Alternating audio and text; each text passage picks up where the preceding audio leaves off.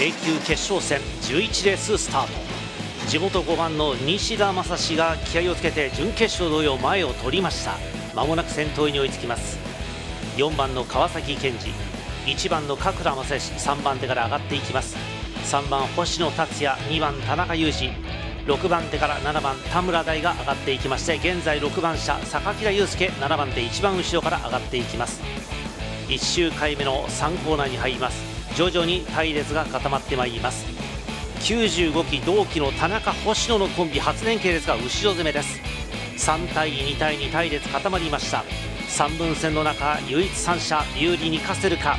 ただ1人2連勝で勝ち上がった7番の田村119期楽しみな選手。連日突っ張り先行からの2連勝。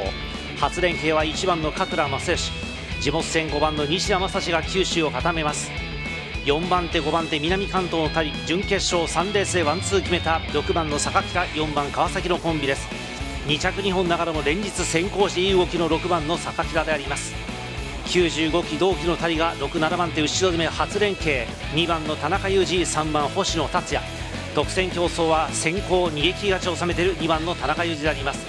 同期に託して3番の星野もいい動きの2日間です。7番田村が先頭にライドを少し開けながら後ろを確認。打賞の周回。まず4番手から6番榊田が抑えに行く。南関東勢が強引に抑えに行きますが7番の田村はどうする？田村が2コーナーで3番手下げ切って。これを6番手から2番田中3番星野。同期コンビはスーッと外からこれは34番手狙ってくるがバンクの真ん中上に上がった2番の田中。7番の田村へプレッシャーをかけてうまく34番手。同期コンビは取り切った。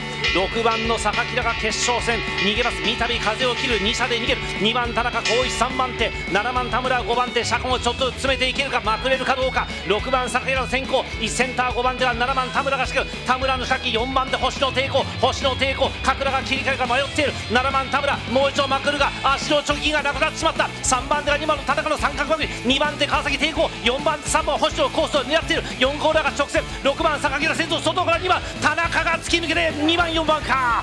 6番3番1番5番3着以降どうなるか。やはり勝負どころ3番手頭脳プレーで取り切って戦い打ち勝負は高最後はまくり追い込みに突き抜けています。4番の川崎健二が2着そして3着の水どうなのか。まずは田中裕二川崎健二その後3着争いは榊田と星野の争いです。3着争いは際どい感じ内6番榊田外3番の星野6番3番3番6番3着際どい状況でご案内いたします。このまま決まれば田中裕二は昨年6月和歌山以来12班戦は12回目の優勝となる模様。